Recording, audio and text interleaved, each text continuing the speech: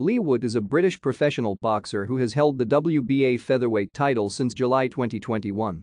At regional level he held the British featherweight title from February to August 2021 and the Commonwealth featherweight title in 2019.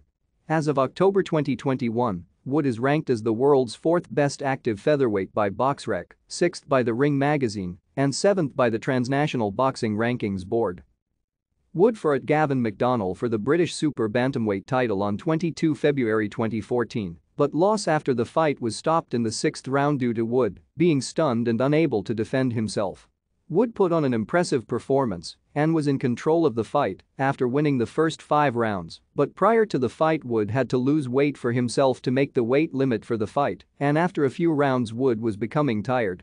After the loss to McDonnell, Wood had a comeback fight against Martin Mubiru and put in good performance and earned a third-round TKO. Then after three more fights and three more wins at featherweight, he stepped up in class to box the man who took his former foe to a draw Josh Wale in a British title eliminator. Thank you for watching. Like and subscribe if you would like to view more of our videos. Have a nice day.